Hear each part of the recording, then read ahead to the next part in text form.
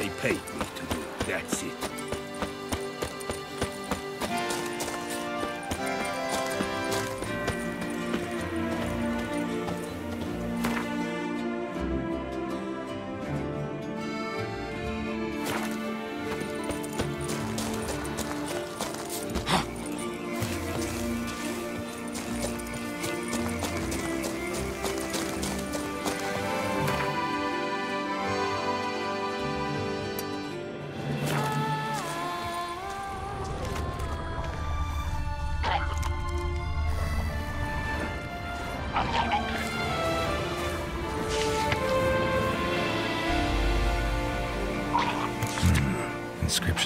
Speech.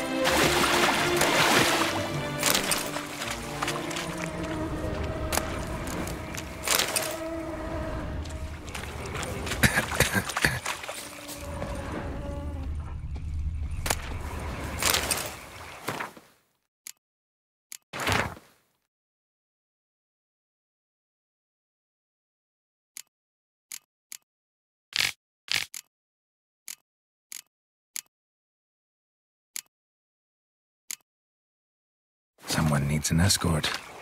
Not something I do often, but might be worth investigating.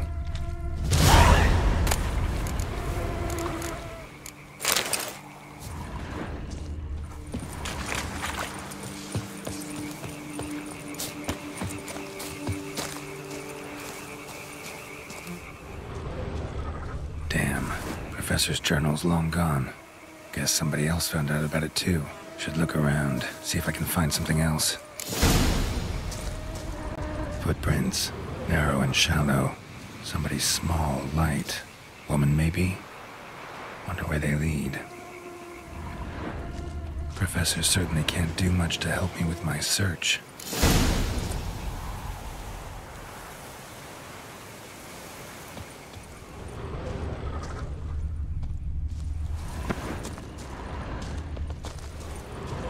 Damn it, trail breaks off. Wonder if the grave robber learned more than I did. Hmm, won't learn anything else here. Yen sent me will have to do. So, Epitaph mentioned both Ellerin and Dolnevde, Valley of the Nine.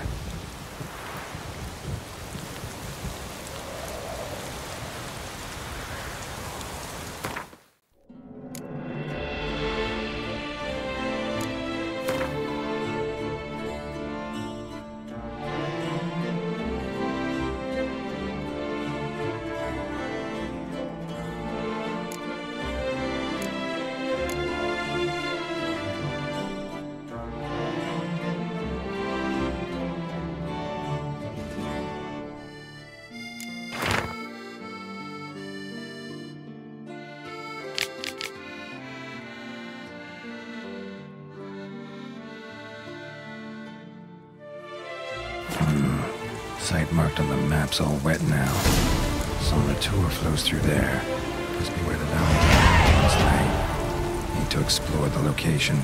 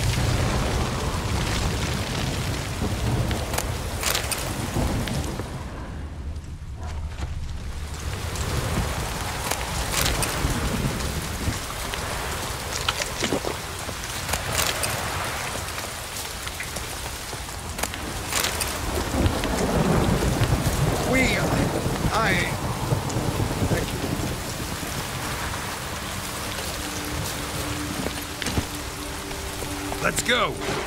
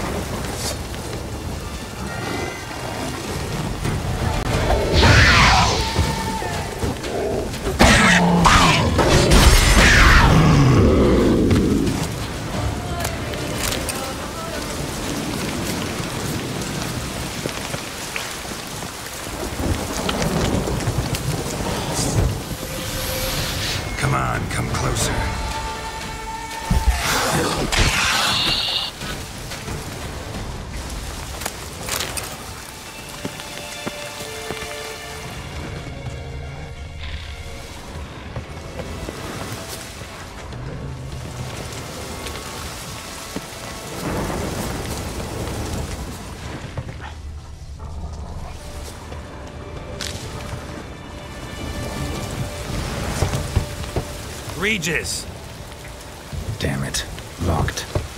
No way I got the place wrong. This is it. Gotta be. Gotta be another way in around here.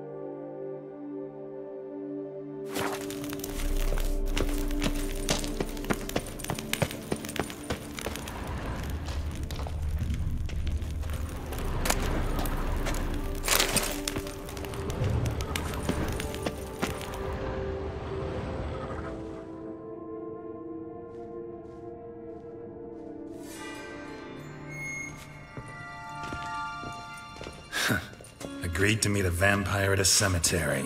How much more cliche can you get? Nothing comes readily to mind. Could have left the door unlatched. What of my privacy? I value it rather deeply. Unmolested, especially by unwanted guests, that's my preferred state. Besides, I knew you'd find a way to get in. True enough. Need to find your friend. I'm hoping you'll agree to help. I shall do whatever's in my power. Yet what you want or even need must matter little. What matters is what Dettlaff wants. If he does not wish to be found, you will not find him. Ever. End of story. Come on. Gotta be some way. Hmm. Vampires can evade detection by the senses, and no divination magic works on us. Even the most precise megascope would be useless. And this? Could this help? Wherever did you get that? Off one of the beast's victims, found by a bend in the river. Body was chopped in pieces. Three of those pieces were hands. Hand with the ring seemed the odd one out, but Bruxa had taken an interest in it.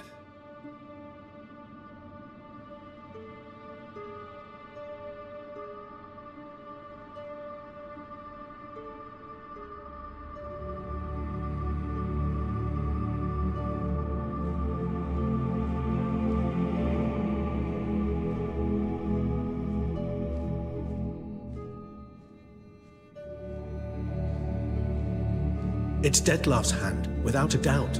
It will do splendidly. The hand. What do you plan to do with it? You've heard of Kovinaris' theory of tissue memory retention. Hmm. Rings a distant bell. Read about it in Alchemia Oblitera. There's a copy of Kaer Morhen, tattered, nearly disintegrated. But if memory serves, Kovonarius never managed to prove it worked. He did prove it, just never managed to publish his findings. He and I corresponded, you see, after we became friends. Thus, I know he completed his research and performed the first tests. It's complicated, so without delving into details, it is possible to use any piece of tissue to reconstruct what a whole body experienced. How's it work? We need any special equipment? We must brew a decoction which Kovinaris gave a rather poetic name resonance. Once imbibed, it sends one into a trance similar to that induced by narcotics. This triggers visions of events linked to strong emotions experienced by the tissue's owner. Picture it as dreaming a fragment of someone's life. Any chance we might see what Dettlaff was doing just before he lost his hand? Indeed. Though I also hope resonance will reveal the location of Dettlaff's hideout. Ring's pretty intriguing. Made of no metal I've ever seen. And the ornamentation. It comes from our home, where we lived before the conjunction of spheres. It's actually mine. I received it from a dear old friend. You might call him a humanist. He saw us vampires as guests here, guests who owe their hosts, meaning you humans and the elder races, respect. Respect. Meaning not to treat us like cattle to be slaughtered for food. Precisely. And the reason why I, in turn, gave it to Dettlaff. To remind him of the ideals my old friend championed. Can't Can't you just summon Dettlaff? You're both higher vampires, there's gotta be a way. If I'm to be entirely candid, there is indeed one. But believe me, we will be better off never availing ourselves of it. It is a last resort. Absolutely. Last resort? The hell? Why? Uh, There is a being who can summon Dettlaff. Possesses the authority, even the power, to force him to appear in a given place. But the very act of contacting this being, well, it's akin to walking a slack line extended over a chasm filled with molten lava. An exercise as perilous to me as it would be to you. A risk I'm unwilling to take. I beg you, let's do it my way. It will be both quicker and easier. Covenarius spent half his life proving his theory. Wild guess. Making a dose of resonance won't be easy. You guessed correctly. In addition to Dettlaff's tissue, we shall need a powerful occipital lobe stimulant. Effectively a poison, to make one susceptible to visions. Hmm. Well, got a few ingredients to choose from. Unfortunately, all are pretty rare. There's Mamoon glands, but closest ones I know of are in Vizima. A spotted wight saliva would also serve, but they were culled to extinction over a century ago. Could go with a kobold's eyes, but the creatures are sentient. Rather not gouge one's eyes out. Hmm. Given that we lack the time to sleuth this out ourselves, permit me to summon some help.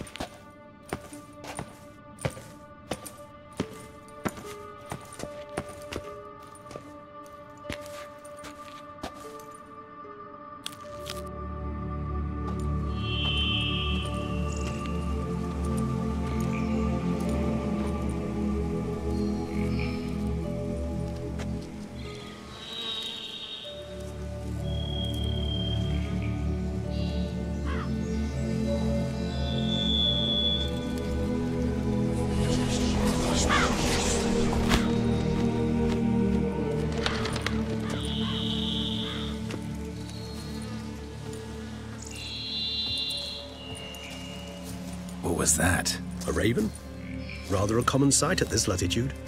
Very intelligent fowl.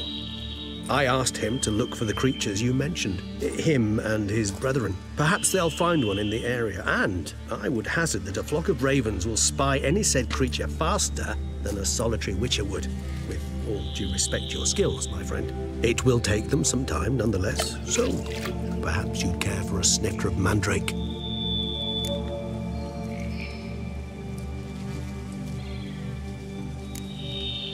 Not really in the mood for your concoctions.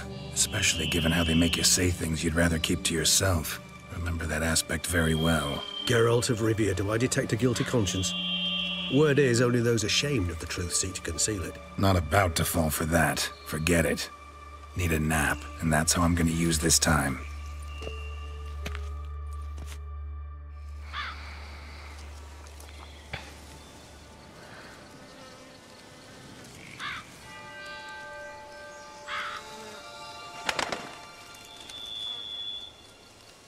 Ever vigilant, even in his sleep. Quite vampire-like, in fact. Are you absolutely certain they don't administer a few of our genes during the trial of the grasses?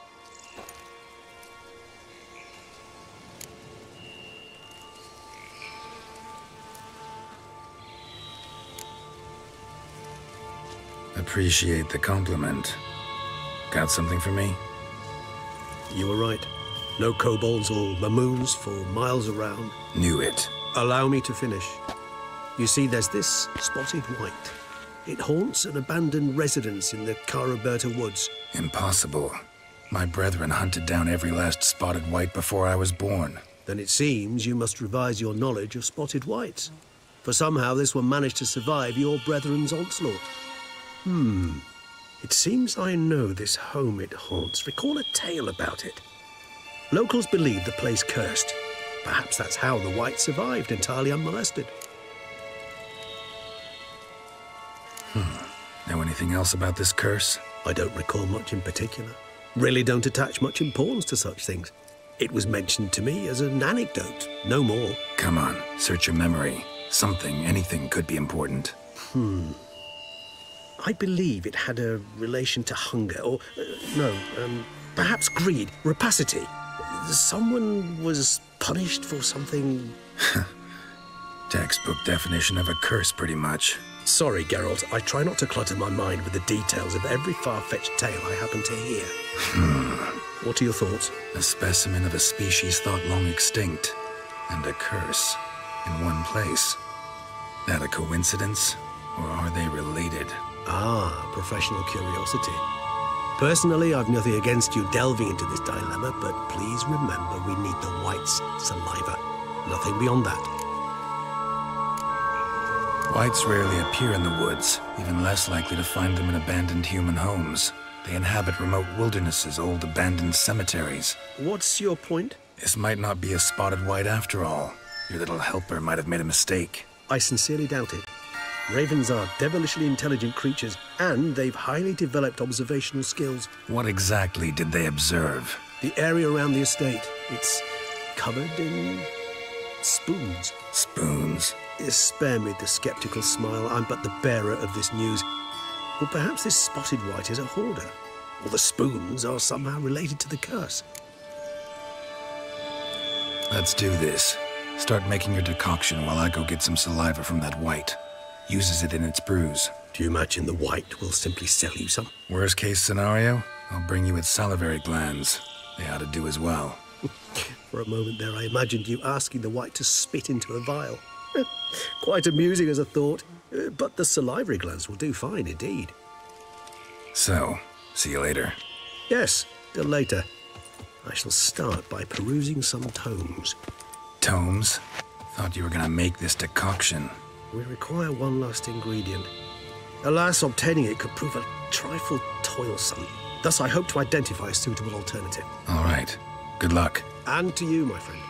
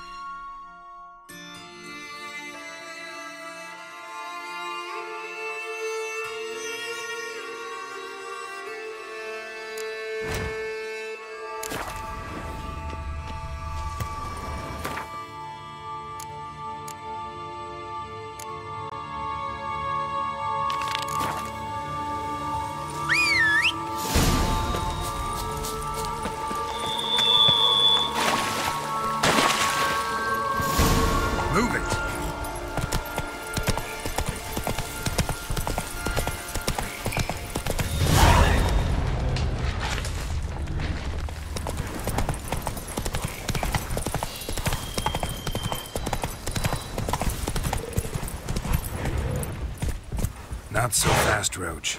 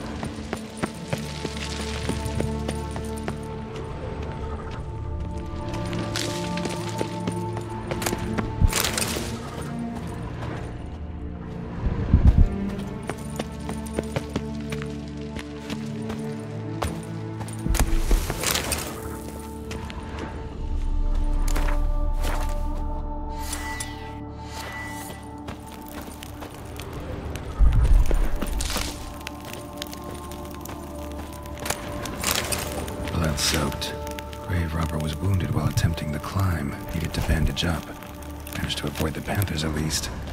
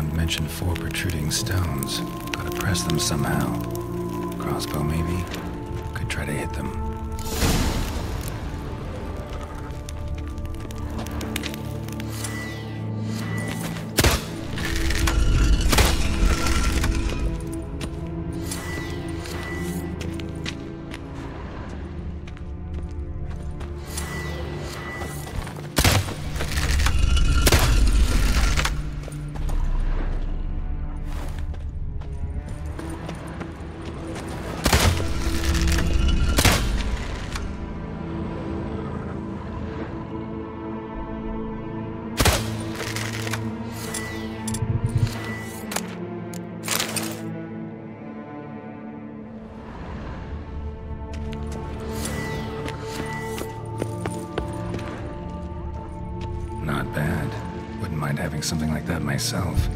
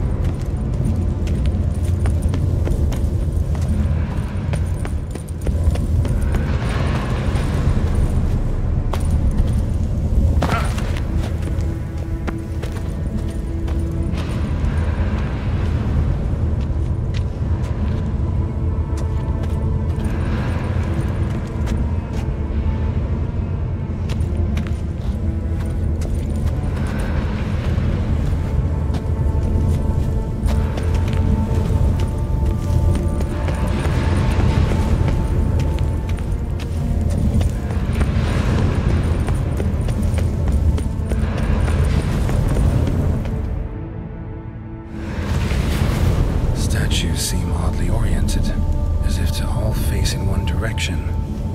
The right portal, maybe?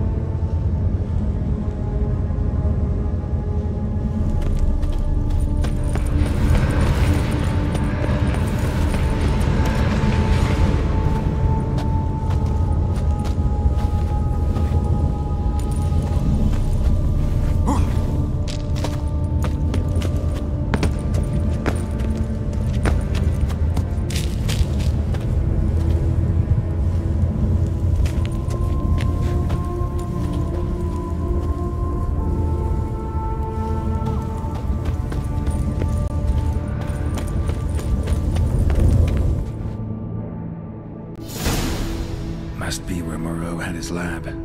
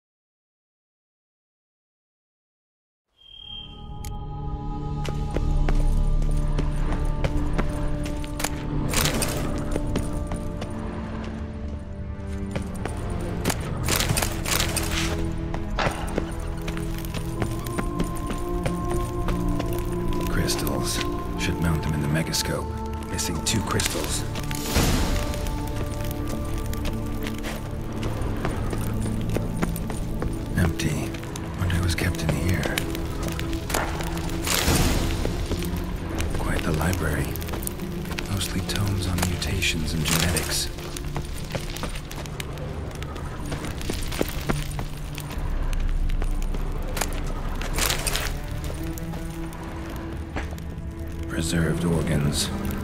Hope their donors weren't forced to give them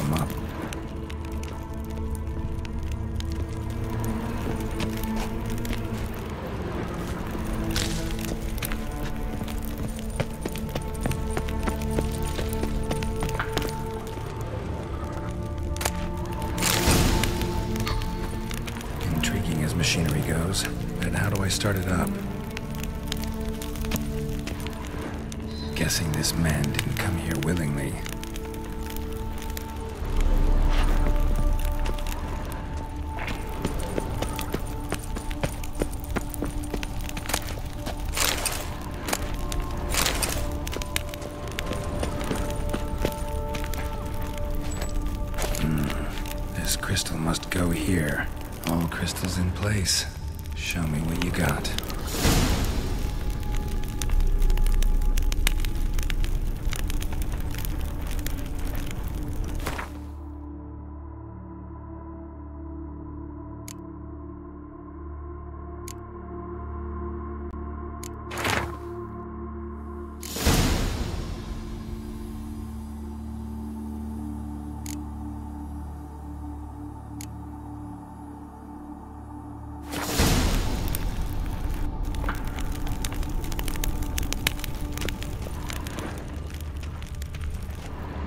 Just need to pick an entry.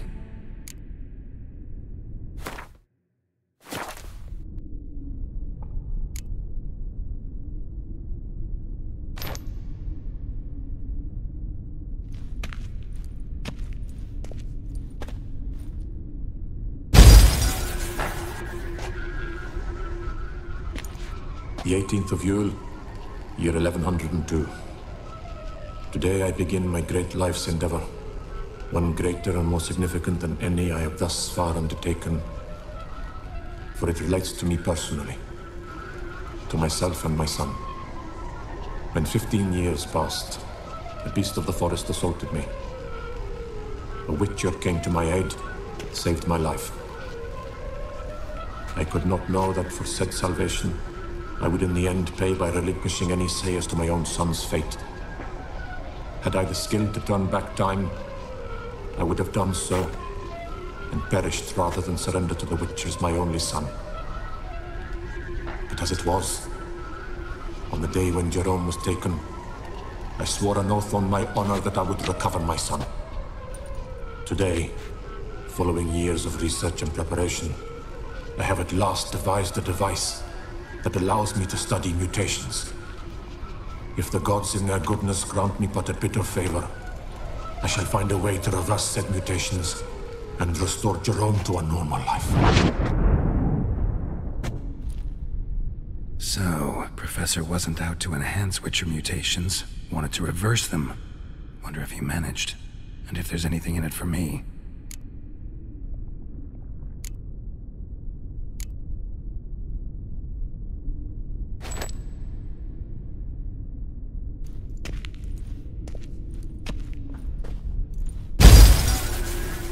Observation 22. Despite applying a surfeit of toxic substances, significantly more than usual, the subject displayed no symptoms of overdosing. I believe this to be an effect of the mutations. Thus, a minor success. This mutation should allow Jerome better to tolerate toxicity.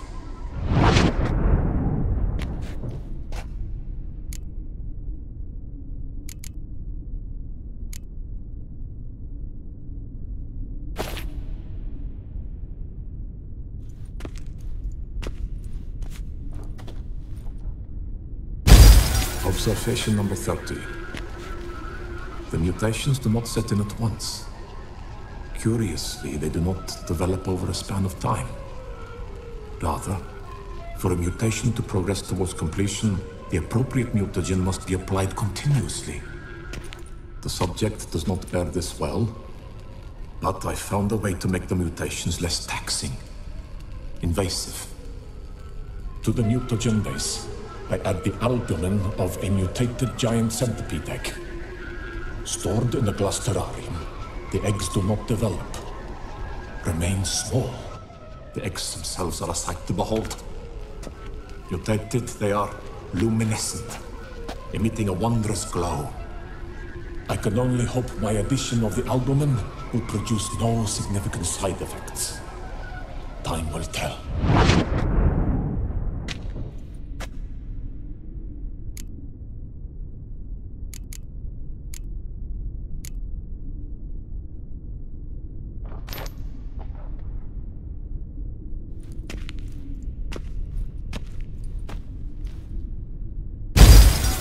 Observation 58.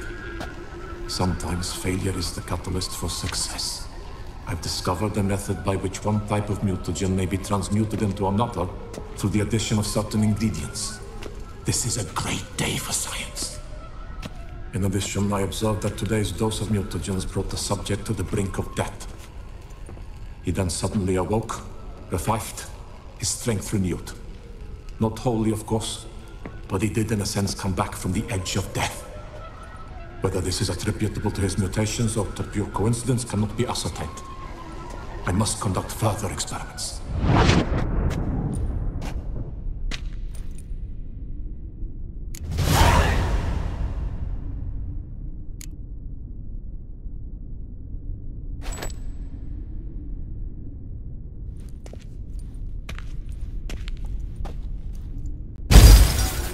Years of experiments, research, sacrifice, all for naught. I have failed to achieve my defined objective. Each mutation I applied to my subjects proved ineffective when applied to Jerome. What I meant to cure him of his witcherism, that which I meant to restore to him a normal life, only deepened his mutations, further augmented his speed and strength, rendered him yet more inhuman. It seems my son must remain a witcher forever. I have failed. The time has come to abandon this place. Return home to Lydia. She may yet deign to take me back. The contraption and mutagens I leave here. Let them wither and crumble. As did my dreams of regaining my son. Hmm. So the professor wanted to reverse the mutation's effects. Ended up deepening them. Stroke of luck for me. Could profit from his failure. So, Professor tried to neutralize the effects of Witcher mutations. Only managed to enhance them, though. Used the albumins of giant centipede eggs as his mutagen base. Need to go on an egg hunt.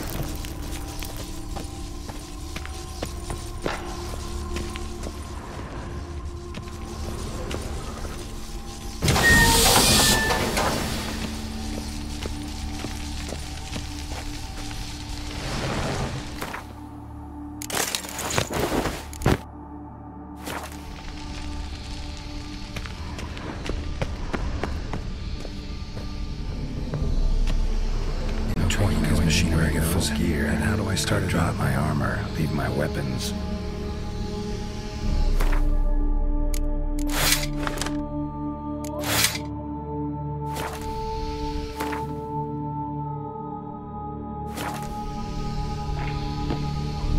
Professor's mutagens might work on me as they did on his son.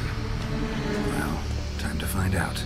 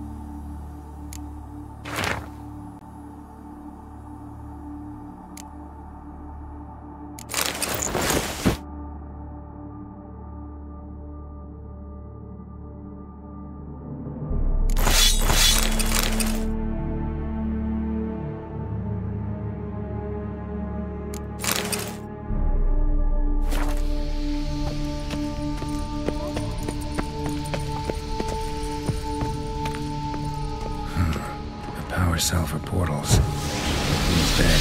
Maybe a sign will revive it.